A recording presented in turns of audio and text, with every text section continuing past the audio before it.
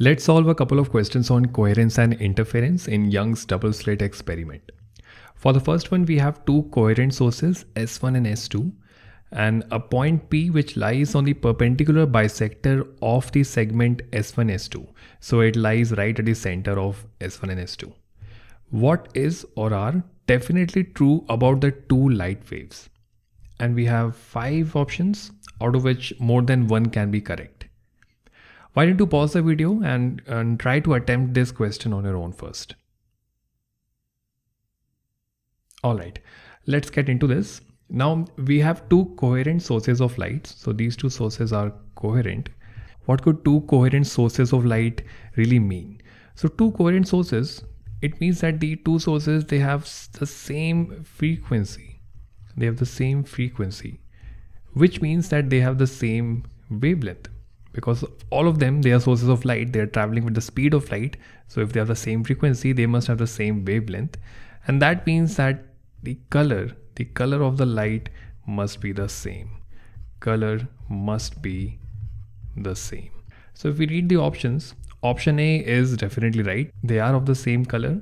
Option b says they have the same phase at the sources.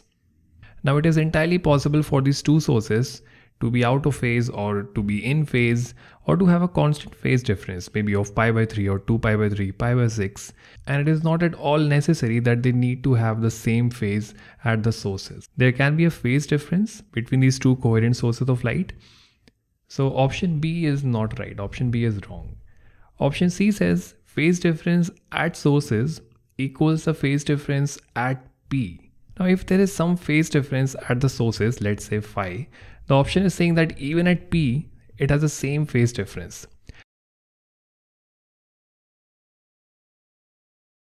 If you look at the path traveled by the light from the source S1, that would be this path right here, we can see that this is the same as the path traveled by the light from the source S2. There is no extra path traveled by any of these two sources. There is no extra phase difference added between the two sources of light whatever is the phase difference at the source, it is the same as that at point P. This can only be true if they are traveling the same amount of path. So option C is right. Now option D says they have the same intensity. Again, for two sources of light which are coherent, they need to have the same frequency and also they need to have a constant constant phase difference it doesn't matter whether they have the same intensity or different intensity. If they have different intensity, we won't get entirely dark fringes because there will never be the case when I1 minus I2 is equals 0 because they are not equal to each other. There will be some brightness between the bright fringes as well. You will never get a completely dark fringe. But that does not mean that the two sources of light are not coherent. They are still coherent because you are getting an interference pattern on the screen. Option D here is wrong. And the last option says they have the same phase at P. Now this can be true, this can be true for some cases, but it is not a necessary condition for two sources to be coherent. The only two necessary conditions are that it should have the same frequency and a constant phase difference. Okay, so for this one, we have A and C as the right answers. Let's move on to a next question now. Here we have two coherent sources of light S1 and S2 which emit light of wavelength 600 nanometers. The light waves, they have a phase difference of pi by 3 at the sources and they interfere constructively at a point P. R1 and R2 are the position vectors from S1 and S2 respectively to P. And the question is which of the following is most likely to be true? And we have five options out of which one is correct. Again, as always, pause the video and give this question a try. Okay, let's get into this. Now the question says that there is a phase difference of pi by 3 at the source. There is a phase difference of pi by 3 at the source. What would this mean? We can try and think about this in terms of wavelength because then we will be able to plot the two waves from these two sources. So as a general rule, we know that if the phase difference between two sources is 2 pi, then they are then they could be 0 or lambda distance apart from each other. And if the phase difference is pi by 3, then we can say that they would be, they could be lambda divided by 2 pi into pi by 3 apart. So this is lambda by 6 this is lambda by 6. So now if we draw the two sources of light, they could look somewhat like this. Let's say that this wave is from S1 and, and this wave is from S2. These two sources of light are out of sync. They are not in phase. They have a phase difference of pi by 3.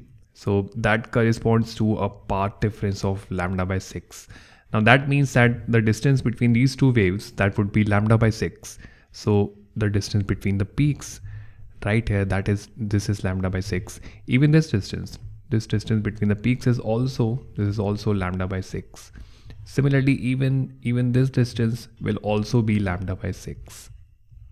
Now let's say if we had a screen at this position, at this position right here, and our point P our point P is this point. This is our point P and we have a screen at that point. We can see that the wave from S1 is at its peak, right? But the wave from S2 is not. This is where the wave at S2 is. It is not at its peak. So we will not be getting a constructive interference if these two waves travel the same distance, same amount of path from the source. And when this is the case, these two are traveling the same amount of distance but we aren't getting a constructive interference at point P because the peaks are not matching with the peaks. They're not on top of each other.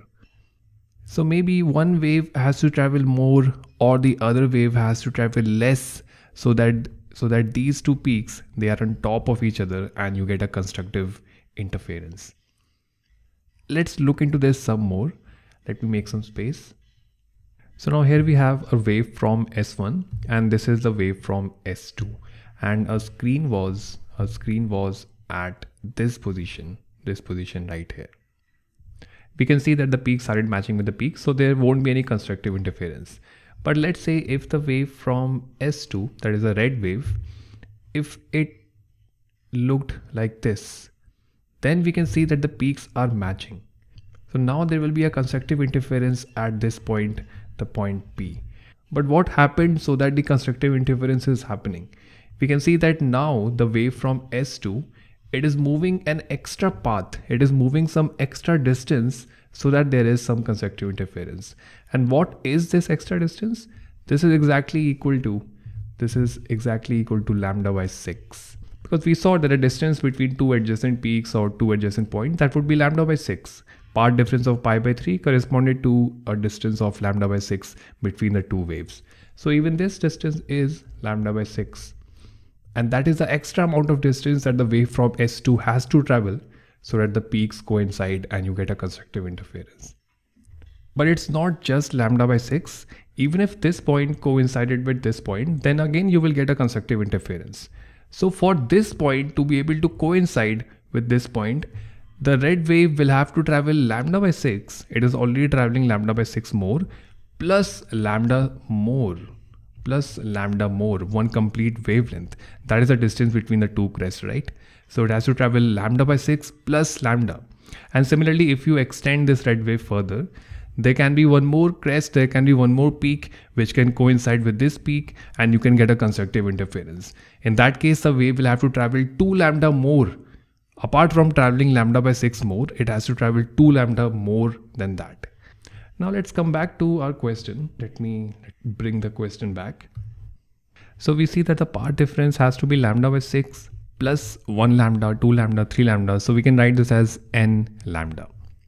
And we know that the wavelength is 600. So this would be 600 divided by 6. That is 100 plus 600 into n. Now let's look at the options. Now let's look at the options. The first one says that mod of R2 minus R1 is equal to 100 nanometers. Here we need to be a little careful because we know that R1, R2, these are position vectors. And R2 minus R1 will actually be this distance right here. This is R2 minus R1. This is according to the rules of vector subtraction in a triangle. This is your R2 minus R1. And this is the distance between the slits. It has nothing to do with the path difference of the light from S1 and S2. So we can right away ignore option A and with a similar line of reasoning, we can ignore option C as well. That leaves us with B, D and E. Let's look at option B. Option B says mod of R2 minus mod of R1 that is equal to 700 nanometers. This kind of makes sense because now if in place of n, in place of n, if we place 1, then this would be 100 plus 600 and that will give us 700 nanometers. The path difference as 700 nanometers. So option B makes sense. This is right. Option D says this is equal to 1250 nanometers. This will never be really possible because no matter what value of n we place here, we will always get the final path difference as an integral multiple of 100.